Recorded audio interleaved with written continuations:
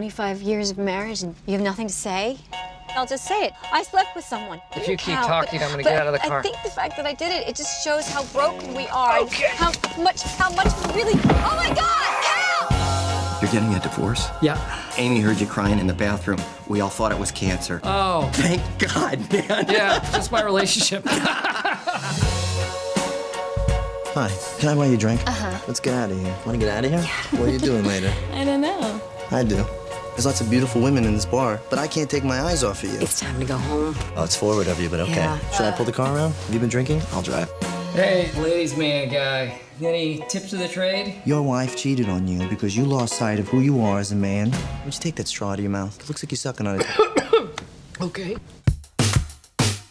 You're sitting there with a supercuts haircut, and you're wearing a 44 when you should be wearing a 42 regular. Credit card. Where are your wallets? Would you sleep in them? Jeez, God. Yeah, probably. You would? You gotta take control of your manhood, pal. Can you put on some clothes, please? Oh, I'm sorry, is this bothering you? Beautiful. Looking at, looking at, looking at me. Look at that. Mm, looking mm. at me. What do you want to do with me? I want to show you off to my ex-wife, make her really jealous. oh, man. I met a girl, and she is a game changer. She's your soulmate, right? Go get her back. Wow, how old are you?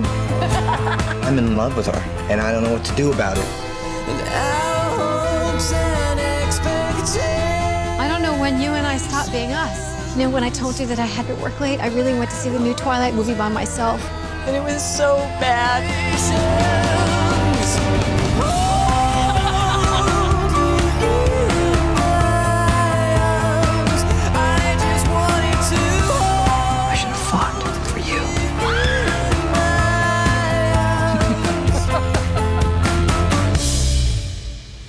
Take off your shirt. Why? Will you take off your shirt?